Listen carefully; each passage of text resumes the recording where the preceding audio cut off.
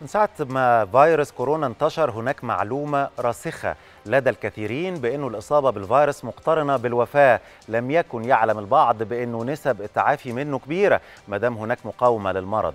والأهم وجود عامل نفسي يساعد على هذه المقاومة. وده اللي أكدته بيانات موقع وورلد ميتر المعني بتحليل وتتبع الحالات المصابة بفيروس كورونا حول العالم حيث تعافى ما يقارب 3 مليون حالة مصابة بالفيروس بعد تماثلهم للشفاء. من أصل 6 مليون إصابة سجلتهم جميع دول العالم منذ تفشي الوباء عالمياً.